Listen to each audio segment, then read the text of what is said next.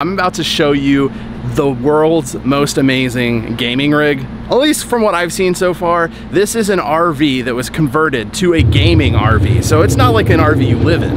This is an RV you game in, specifically for a game called Star Citizen. It is a space simulator it's actually one of the highest budget video games ever made. I think they're in the millions and hundreds of millions in, in, in, money that was raised to develop this game, and it's still currently in beta, but it has millions of players, so I'm sure a lot of you know about this game already. I saw this thing, I was mind blown about how cool it was, and I said, I gotta film this so you can show it to some people.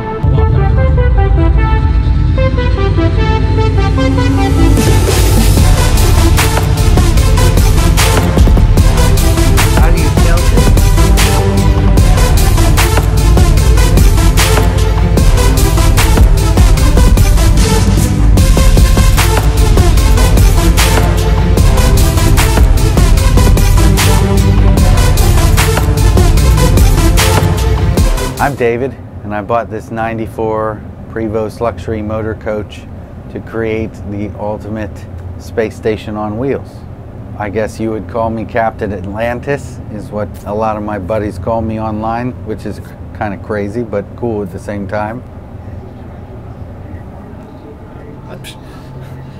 Okay, we interrupt this interview. Do you need to run real quick? No, no, okay. it's. Uh, I don't think it's a security alert. Okay. Well, well, we wouldn't hear it on this one because we're outside.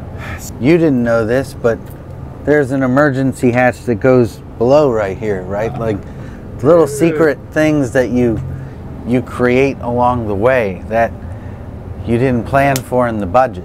I'm really trying to put more thought in things and I'll, I'll take time and walk through the ships and take ideas from the actual ships to put them in here. I mean, you're looking at probably 250. 250. Yeah. 250. And this is your gaming rig. This this is yeah. This yeah. is it. Well, so basically, this is the the front lounge of this motor coach. This is a Prevost uh, 40 foot luxury motor coach. It's actually a 1994 model that I've been kind of rebuilding over the last uh, nine months from kind of like a pink, it was just all pink, to now into what you see is as a uh, spaceship to play Star Citizen. So this, you would have like, eventually when I'm done with it, you'll have some motion-based platform seating here for the two, I'd say gunner engineer seats, depending on what we're doing. Then two VIP seats, kind of the plush leather look.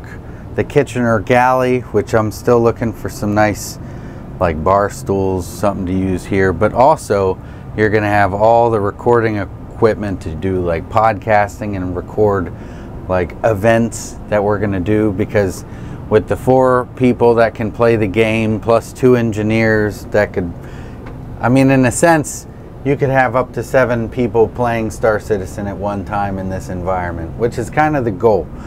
Kind of plenty of space for one cook to make some food but I also have some you know footage or this is like an original depiction of Star Citizen's uh, constellation Atlantis.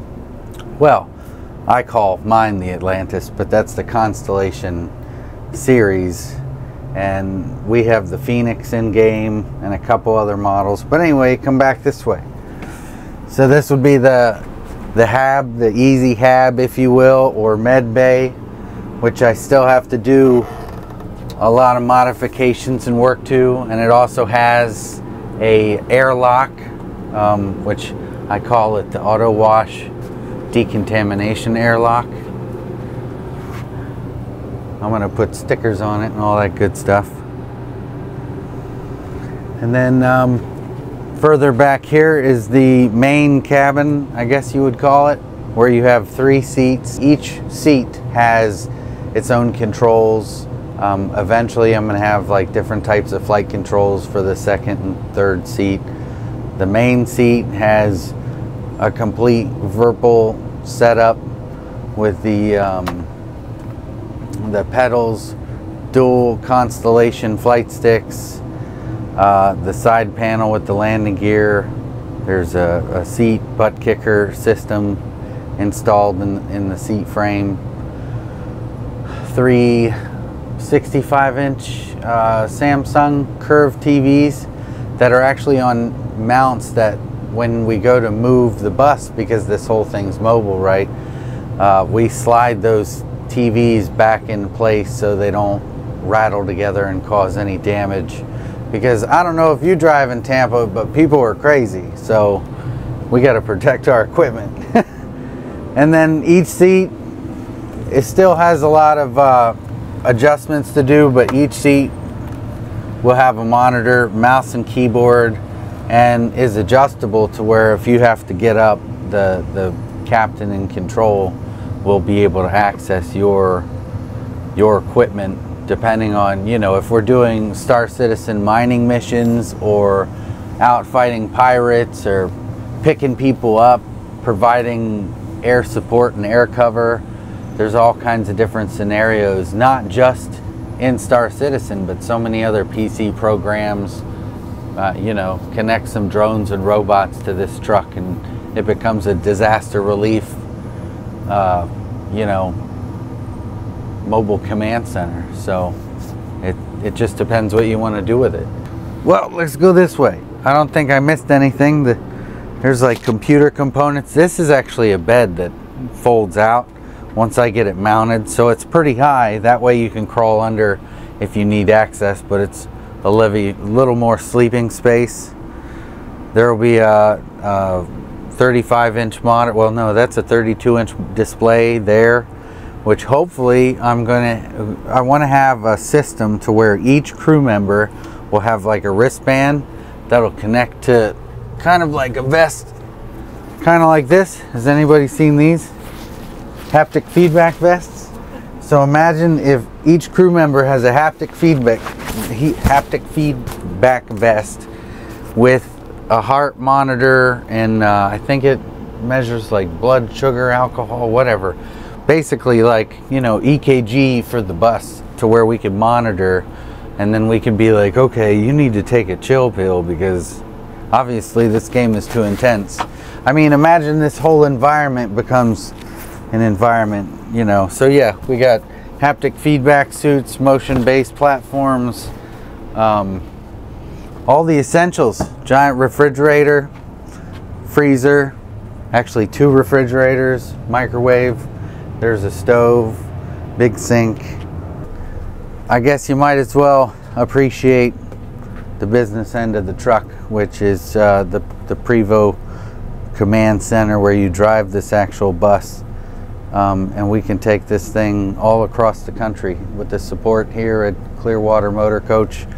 Uh, we have some of the best maintenance guys in the country, so I feel pretty confident if somebody wants me to take this all the way to California, we could probably do it with the support system that we have here. So it's pretty awesome stuff and a great opportunity to take something classic, old school, retro, Vogue Prevost and turn it into a modern day classic of an arcade video game simulation experience that I've ever seen.